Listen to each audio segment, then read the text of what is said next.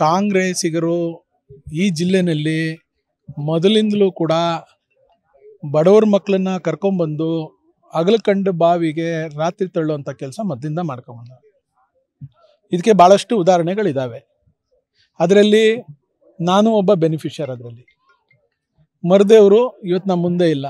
ಮರದೇವರು ಕೂಡ ಒಬ್ಬರು ಇವತ್ತು ಹೆಗ್ಬಾಲ್ ಹುಸೇನ್ ಕೂಡ ಒಬ್ಬರು ಅದ್ರ ಜೊತೆಯಲ್ಲಿ ರಾಮ್ ಚನ್ನಪಟ್ಟಣದಲ್ಲಿ ಆ ಪ್ರಸನ್ನ ಕುಮಾರ್ ಪ್ರಸನ್ನ ಗೌಡ ಕೂಡ ಒಬ್ಬರು ಈ ಥರ ಭಾಳಷ್ಟು ಜನ ದುಡಿಸ್ಕೊತಾರೆ ಟಿಕೆಟ್ ಕೊಡ್ತೀವಿ ಅಂತಾರೆ ಟಿಕೆಟ್ ಕೊಡೋ ಸಂದರ್ಭದಲ್ಲಿ ಏನೇನೇನೋ ವ್ಯತ್ಯಾಸಗಳು ಮಾಡ್ತಾರೆ ಯಾರನ್ನೋ ಕರ್ಕೊಂಬರ್ತಾರೆ.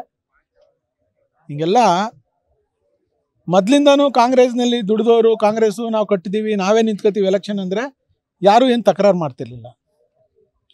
ಹಿಂದೆ ಇಲ್ಲಿ ಶಾಸಕರಾಗಿದ್ದವರು, ಇಲ್ಲಿ ತಾಲೂಕಿನ ಆಡಳಿತ ಮಾಡಿದವರು, ಇಲ್ಲ ನಮ್ಮ ಕಾಂಗ್ರೆಸ್ನಲ್ಲಿ ನಮಗೆ ಬೇಡ ಹೊಸಬ್ರನ್ನ ಸೂಚಿಸಿ ಅಂದಾಗ.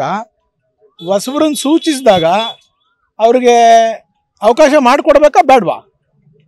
ಕಾಂಗ್ರೆಸ್ನಲ್ಲಿ ಮರ್ದವ್ರವ್ರಿಗೆ ಮೋಸ ಆಯಿತು. ನಾನು ಕಾಂಗ್ರೆಸ್ಸಲ್ಲಿದ್ದಾಗ ನನಗೆ ಮೋಸ ಆಯಿತು. ಇವತ್ತು ಪ್ರಸನ್ನ ಗೌಡನಿಗೆ ಮೋಸ ಆಗಿದೆ. ನಾಳೆ ಇಕ್ಬಾಲ್ ಹುಸೇನ್ ಅವ್ರಿಗೆ ಮೋಸ ಆಗಲ್ಲ ಅಂತ ಯಾವ ಗ್ಯಾರಂಟಿ? ಕಳೆದ ಚುನಾವಣೆಯಲ್ಲೂ ಕೂಡ ಮೋಸ ಆಗ್ಲಿಲ್ವೇ? ಬಾಲಕೃಷ್ಣ ಅವರು ಅದೇ ಅದೇ ಇದಾರ ನನಗೆ ಗೊತ್ತಿಲ್ಲ. ಈಗಾಗಲೇ ಅವ್ರಿಗೆ ಅರ್ಥ ಆಗಿರ್ಬೋದೇನೋ?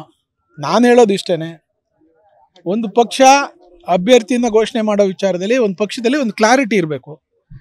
ಸೊ ನಮ್ಮ ಜಿಲ್ಲೆಯಲ್ಲಿ ಅನಿತಾ ಕುಮಾರಸ್ವಾಮಿ ಅವರು ರಾಮನಗರಕ್ಕೆ ಶಾಸಕರಿದ್ದರು ಅವರಿಲ್ಲ, ನಾನು ನಿಲ್ಲಲ್ಲ ನನ್ನ ಮಗನ ನಿಲ್ಲಿಸ್ತೇನೆ, ಆಶೀರ್ವಾದ ಮಾಡಬೇಕು ಅಂತೇಳಿ ಕ್ಲಿಯರ್ ಕಟ್ಟಾಗಿ ಅವ್ರು ಘೋಷಣೆ ಮಾಡಿ ಅವ್ರ ಜವಾಬ್ದಾರಿಯನ್ನು ಮೆರೆದ್ರು.